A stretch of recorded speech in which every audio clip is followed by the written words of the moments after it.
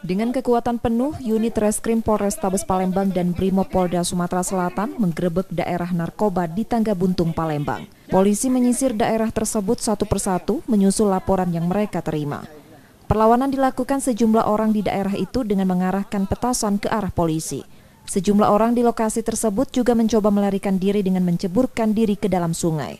Dari pemeriksaan yang dilakukan polisi, kemudian menyita sabu seberat 1,5 kg dari salah satu rumah warga dan alat hisapnya. Sedikitnya 65 orang diamankan polisi ke Polrestabes Palembang. Banyak sekali, rumit sekali uh, ininya. Karena dulu se sendiri anggota Jatanras itu untuk menangkap pelaku kejahatan di dalam itu kan kena tusuk, uh, kena tusuk. Jadi itu kita dan TKP TKP-nya itu lorong-lorongnya adalah sulit sekali kita gambarin tadi. Bang tadi ada banyak. perlawanan nggak? Uh, perlawanan ada. Kita banyak sekali tadi makanya banyak petasan tadi. Mm-hmm. Petasan itu udah gelap di dalam asap. Oh di lorong itu. Di lorong. Jadi memang rata-rata bertingkat.